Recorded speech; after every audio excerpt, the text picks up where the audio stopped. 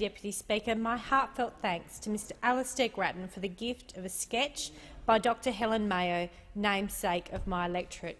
Mayo is one of the few electorates in the nation named after a woman, and Dr Mayo was an extraordinary woman, a reformer, a maternal and infant health uh, educator and an activist. During the four decades of her influence on South Australia's medical profession, the infant mortality rate in my state fell by 60 per cent. Born in 1878, Dr Mayo was described as a progressive woman with forceful views.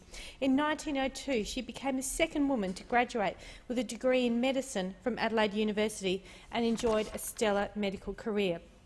Her focus on health education led to the formation of the Mothers and Babies Health Association in South Australia, and she also supported the kindergarten movement.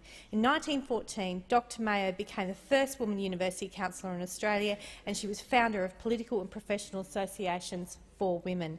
As a South Australian, as a woman and as the federal member for Mayo, I am proud of the legacy of Dr Helen Mayo and what she has left our nation.